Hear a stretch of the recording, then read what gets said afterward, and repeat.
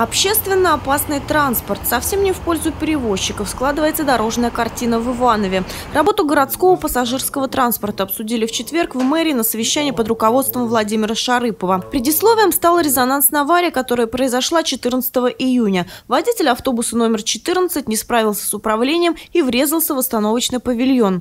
В результате конструкция рухнула на стоящих там людей. Троих госпитализировали. Официально причина ДТП не названа до сих пор. Перевозчик провел собственную служебную проверку. Самая такая ну, проблема была, то все-таки водитель допустил ошибку и не справился с управлением, поэтому и получилось такое ДТП, поэтому он въехал в остановку общественного транспорта.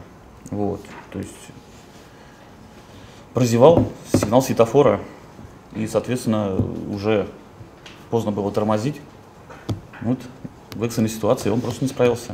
В Иванове функционируют 39 муниципальных маршрутов и 38 межмуниципальных. На последний город влияния не имеет. Состояние транспорта и техническое, и эстетическое зачастую оставляют желать лучшего. А еще одни с другими постоянно соревнуются и ездят на перегонки. Именно это и провоцирует ДТП. Не получится у нас работать. Первый маршрут. Э, есть э, значительные падения фирмы Drive Auto, Волга Транс, НТК, Транслайн. У них постоянно падают. Почему падают? Потому что они гоняются со 100 136 маршрутом. На втором э, э, маршруте городском у нас постоянные гонки идут со 131 маршрутом. 20-й Богданы, их тоже постоянно обвиняют, что вот э, буквально в сети вчера, что ли, читал опять, что водитель там прихлопил э, девочку с мамой на какой-то остановке. Начинаешь выяснять и разбираться, правильно, сзади был на хвосте 120-й. Понимаете, ну, честно говоря, на перевозчиков, если вот так все взваливать, мы не можем уже э, желание-то иногда ну, просто руки уже значит, а, ну, опускаются. В пример перевозчики приводят Владимир с большими автобусами, Богданами или Азами.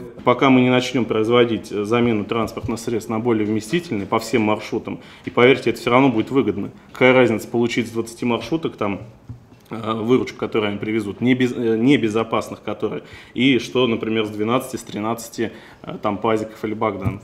А воз и ныне там, и у самих перевозчиков, считает глава города Владимир Шарыпов. Определенные этапы работы наметили еще весной. Мы с вами, да, действительно, полгода говорим о замене транспортных средств по обновлению состава.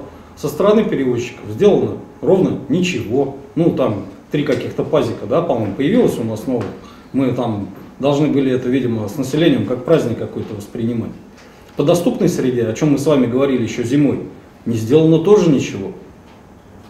Ни звуковых объявлений, ни э, световых табло, да, там, э, с бегущей строкой. Ничего не сделано.